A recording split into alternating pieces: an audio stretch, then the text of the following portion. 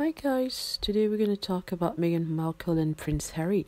We're going to talk about Prince Harry because people are speculating as to whether he will be back to the UK or not in on time for Christmas. So recently there have been many articles regarding that with people saying that he'll be back because he doesn't want to pay taxes in the US and because uh, he's passed the 6 months or 183 days deadline time limit he has to come back. Now there's a new twist in the whole shenanigans of uh, Harry coming to the UK or not coming to the UK. Now the tabloids are saying that he's not coming back. He will spend Christmas in the US and will come back after Christmas for Meghan Markle court case. And they say that the Queen is disappointed in, in Prince Harry. Now, first of all, how do we know that the Queen is disappointed? Did she send like a memo to the tabloids?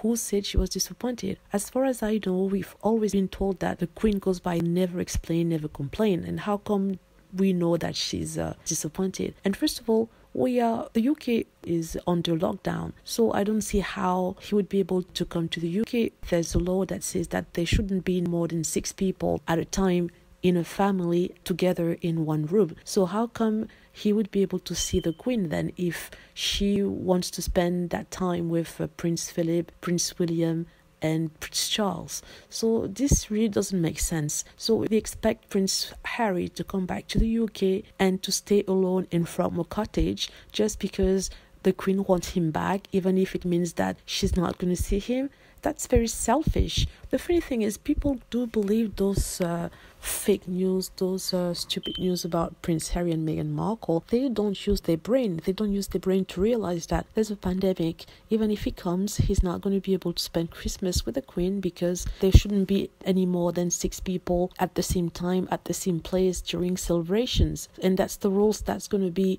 there until the end of the COVID situation in England. But hey, the trolls and the haters don't mind. They don't care if it's fake news or news or no news at all. They just want to hate. They just want to spew their venom at Meghan or Prince Harry. And obvious, obviously, Meghan is the culprit because she's uh, holding Prince Harry hostage in the US and she doesn't want him to, to go back to his family. That's so plain silly. I don't even know what to say. When I read that, I was like, really? People do believe all these fake news? It's so ridiculously fake that even a baby could sense that. But yet, there are trolls out there who don't want to think, they don't think, they don't want to use their brain.